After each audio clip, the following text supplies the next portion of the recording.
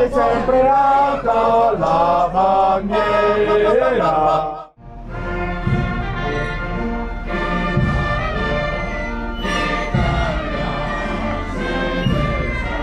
Dalla caserma Aurelio Grue di Teramo risuona l'inno di Mameli, la bandiera italiana issata, i vigili del fuoco avvolgono il piazzale di via Diaz con il tricolore, calandosi dall'autoscala, per celebrare le penne nere di oggi e di ieri nella caserma che ha ospitato fino al 1996 la 61esima compagnia Alpini e che ne ha visto il ritorno in una manifestazione di tre giorni. Prima sono stato all'Aquila tre giorni, poi mi hanno spedito qua e dormiva la la terza finestra, il terzo piano.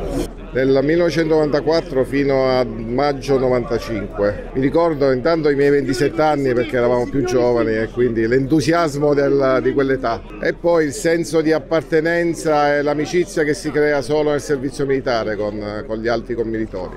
Oggi rientrare in quella caserma è stata un'emozione grandissima. A differenza di più di 45 anni fa che quando sono entrato lì c'era timore perché non si conosceva, non si conosceva la vita della Naia, non, si andava un po' allo sbaraglio. Oggi invece è stata un'emozione grandissima. Alle 10.30, dopo gli onori al vessillo e la deposizione della corona in ricordo ai caduti, è iniziata la sfilata per il centro storico verso Piazza Martiri della Libertà, invaso da centinaia di penne nere, accompagnate dalla fanfara e dal coro alpino. Un'intera città ha salutato in piazza le sezioni alpine che hanno partecipato a questa tre giorni, terminata nella consegna della benemerenza della provincia all'Associazione Nazionale Alpini e al commovente gemellaggio fra il gruppo di Teramo e il gruppo Umbria di Firenze. Quando ti prende la malinconia, pensa che c'è qualcuno accanto a te. Vivere non è sempre poesia.